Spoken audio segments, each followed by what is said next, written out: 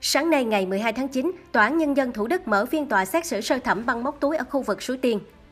Theo đó, phiên tòa sẽ xét xử hai vụ án trộm cắp tài sản do hai bị cáo Quách Trinh Nhân và Dương Thị Sen thực hiện mà báo pháp luật thành phố Hồ Chí Minh đăng tải loạt phóng sự điều tra từ ngày 17 tháng 10 2019 về băng nhóm chuyên móc túi hành khách đi xe buýt ở khu vực Suối Tiên đã gây xôn xao dư luận thời gian qua. Mời quý vị cùng theo dõi toàn cảnh hai vụ án do hai băng nhóm này gây ra.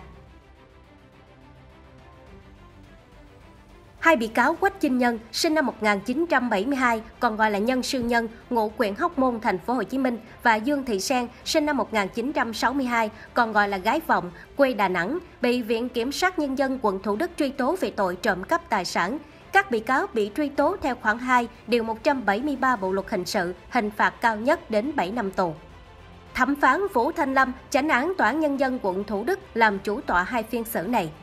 Cáo trạng nêu, ngày 15 tháng 10 2019, báo Pháp luật Thành phố Hồ Chí Minh và các báo đài đăng loạt bài về tệ nạn móc túi hành khách trên xe buýt tại khu vực Suối Tiên. Sau các bài báo, công an vào cuộc đưa nhân về để đấu tranh làm rõ. Cụ thể, ngày 28 tháng 10 năm 2019, Cơ quan Cảnh sát điều tra Công an quận Thủ Đức khởi tố bị can, bắt tạm giam với Quách Trinh Nhân và Dương Thị Sen để điều tra về tội trộm cắp tài sản. Vụ án thứ nhất do bị cáo Quách Trinh Nhân cầm đầu thực hiện, Quá trình điều tra cho thấy, để có tiền tiêu xài, Nhân và một số đối tượng đã bàn bạc với nhau đến trạm xe buýt đối diện khu Suối Tiên để móc túi hành khách đi xe buýt. Từ ngày 24 tháng 9 2019 đến ngày 13 tháng 10 2019, Nhân cùng đồng phạm thực hiện nhiều vụ trộm cắp. Trong đó, 3 vụ xác định được bị hại là hành khách đi xe buýt số 33, 99 và 150, tổng giá trị tài sản chiếm đoạt hơn 20 triệu đồng. Còn 8 vụ trộm cắp khác ở khu vực trạm xe buýt đối diện khu Suối Tiên đến nay vẫn chưa xác định được các bị hại, nên công an đã tách vụ án để tiếp tục điều tra xử lý sau. Vụ thứ hai liên quan đến nhóm móc túi của Dương Thị Sen và Bùi Văn Hiển cũng hoạt động tại khu vực trạm xe buýt đối diện khu du lịch Suối Tiên. Theo đó, công an xác định Sen là đối tượng có nhân thân xấu. Năm 2001, Sen bị đưa vào cơ sở giáo dục Cùng thời gian này, Sen bị Tòa án Nhân dân quận Bình Thạnh, thành phố Hồ Chí Minh xử phạt 2 năm tù nhưng cho hưởng án treo về tội tàn trữ trái phép chất ma túy. Năm 2002, Sang bị Tòa án Nhân dân quận 11 thành phố Hồ Chí Minh xử phạt 2 năm 6 tháng tù về tội trộm cắp tài sản.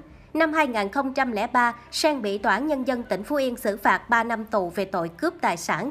Tổng hợp hình phạt chung là 7 năm 6 tháng tù. Sau đó, Sen lại tiếp tục trộm cắp tài sản và bị bắt trong vụ án bóc túi hành khách đi xe buýt trước khu suối tiền.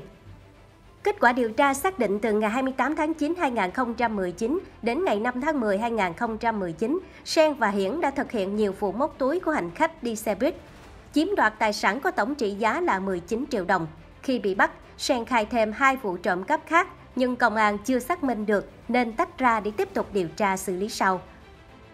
Bùi Văn Hiển hiện đã bỏ trốn nên cơ quan chức năng đã tách vụ án để điều tra sau.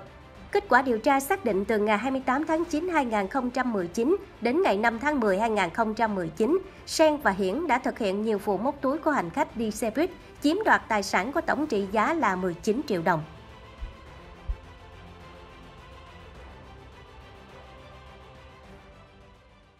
Đăng ký ngay kênh YouTube Báo Pháp luật Thành phố Hồ Chí Minh trợ thủ đắc lực của người dân và doanh nghiệp.